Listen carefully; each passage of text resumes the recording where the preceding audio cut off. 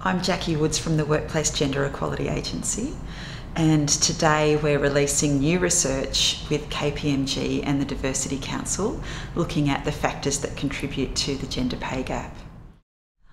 I believe in the community there are concerns around the pay gap, um, whether the figure is a real figure. I think the reason why individuals in the community may not um, fully accept that it's real and they try to explain it away through women's choices or life circumstances is the fact that it's so incongruous with our understanding of women's capability and it's unlawful. So people find it hard to accept that it actually still happens, but it does happen and we have the evidence.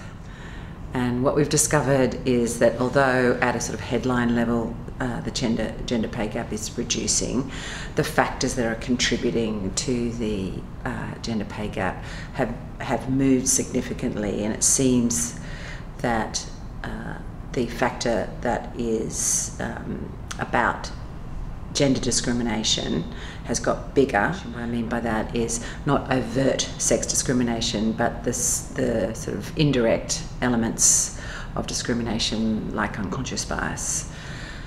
But there are, there are a lot of other factors that also contribute. Um, for example, representation of women and men in different roles and industries, um, uh, overrepresentation of women working part time, uh, as well as women's uh, caring responsibilities and time out of the workforce. Really, the important thing about understanding the makeup of the gender pay gap is to take action to fix it.